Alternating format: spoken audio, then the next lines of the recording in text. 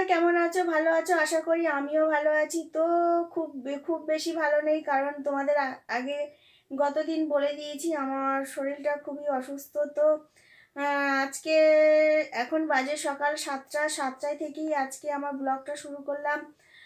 তো আশা করি তোমরা আমার সঙ্গে থাকবে।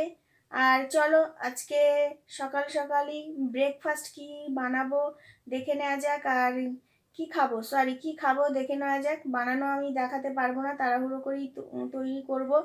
তো, সকালের ব্রেকফাস্ট কি হবে আর দুপুরের মেনু কি আছে? তো, চলো রান্নাঘরে যাওয়া যাক।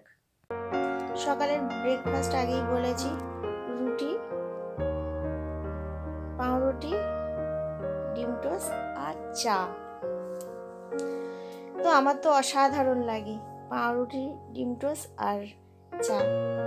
এদিকে আমার সোনাকে পড়তে বসিয়ে দিয়েছি বই পড়ছে। সবাই ভালো আছো তো? আমি এখন ছড়ার বই পড়ব। মুরগি রানের মুরগি। মেয়েকে পড়তে বসিয়ে দিয়েছি আর ও বই পড়ছে। আমি এদিকে রান্নাটা সেরে নেব। সকাল সকালেই সারবো কারণ আগেই বলেছি অসুস্থ মেয়েও খাবে। যদি গরম ভাত খেতে চায় ওকে দিতে হবে। তো ডালটা আমি, কৌটো, ডালের কৌটো পাওয়া যায়, সেই কৌটোতে আমি ডাল ভাতে দিয়ে দিয়েছি। এক্সট্রা করে ডাল সিদ্ধ করব না। আর মেয়ের জন্য সবজি ডাল করেছি। মেয়ে সবজি ডাল প্রচণ্ড ভালোবাসে। আলু, ফুলকপি, টমেটো দিয়ে একটু সবজি ডাল করে দিয়েছি। কোনোদিন এক্সট্রা করে ডাল সিদ্ধ করি না, কারণ ভাতের সঙ্গেই ডাল একবারে সিদ্ধ করে নিই, কৌটোয় করে দিই। কিছু জামা কাপড় মেলা ছিল, সেগুলো এবার নিয়ে আসলাম ঘরে, ভাঁজ করে নেব।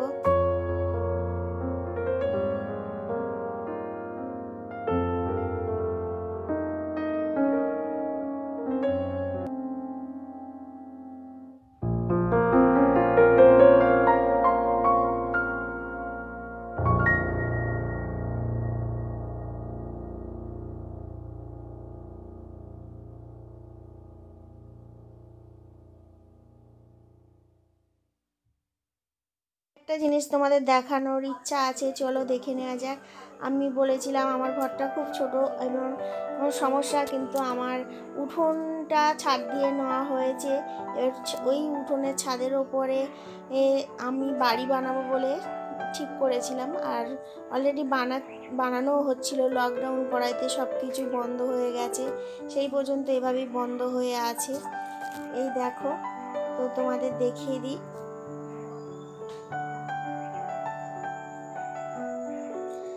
যে বাড়ি হবে, সেই বাড়ির সামনে বড় এক শিউলি ফুল গাছ আছে, দেখো। সন্ধ্যের সময় ফোটে, অবশ্য সকালে এগুলো দেখ, ফোটে না। সরি দিনের বেলা ফোটে না। এই যে। এইভাবে পড়ে আছে, ভগ্ন অবস্থার মতো। কিন্তু ভগবান জানি না কবে মুখ তুলে তাকাবে আর কবে আমার সব কিছু ঠিকঠাকভাবে গড়ে উঠবে। তো বলতে পারছি না কবে হবে, এইভাবেই পড়ে আছে। আজ আট থেকে ন মাস।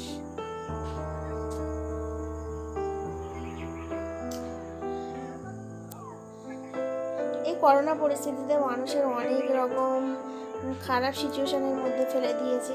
তো জানি না কার কি ফেলেছে, আমারও খুব খারাপ সিচুয়েশনের মধ্যে ফেলেছে। এই দেখো সব কিছু ভাঙাচুরো অবস্থায় পড়ে আছে, এইভাবে বসবাস করছি, এখনও পর্যন্ত কমপ্লিট করে উঠতে পারিনি, জানি না কবে কমপ্লিট হবে।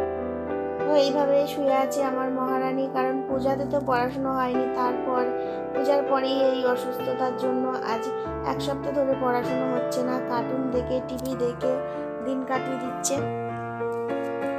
আরও পড়তে বললে পড়ে না জাস্ট বই নিয়েই বসে শুধু বসে বসে ছড়ার বইটা পড়ে এক্সট্রা কিছু পড়ে না। গুড ইভিনিং ফ্রেন্ড কেমন আছো সবাই? ভালো আছো তো? হ্যাঁ আমি সমস্ত কাজকর্ম সেরে সন্ধেবেলা বসে পড়েছি। তো ক্যামেরা কষ্টের মধ্যে আছি। আর এদিকে আমার মেয়ে, ও এদিকে কার্টুন দেখছি, মনের আনন্দে। কারণ কয়েকদিন যাবৎ জ্বর জ্বর সর্দি কাশির জন্য পড়াশোনা একদম বন্ধ, পড়াশোনাও করছে না। তো সন্ধ্যাবেলা এখন কার্টুন দেখতে ব্যস্ত। আর আমি গরম গরম চা নিয়ে আমাদের সামনে হাজির হয়ে গেছি। তো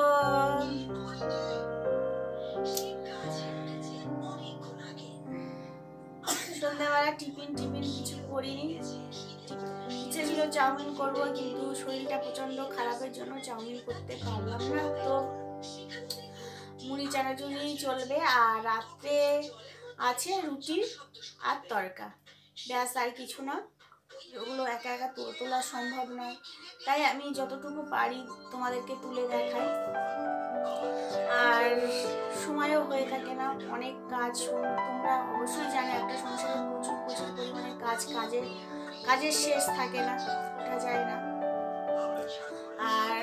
আমার মেয়ের পড়ানো, খাওয়ানো, ঘুম পাড়ানো একটু যে সব করতে করতে আমার সময় চলে যায় আর সংসারের কাজ করতেও সময় চলে যায়। ওর কোনো টিউশনি বা কোনো কিছু নেই, এ টু জেড সব কিছুই আমি দেখাই। গানের গান টান সব এ টু জেড আমি শেখাই, আমি করাই। তো প্রচুর সময় নিয়ে নেয়, আর খাওয়া তো মেন কথায় খেতে চায় না। আজ থেকে ঝিনুকে খেতেও কিন্তু ঝিনুকে খাওয়া পরেও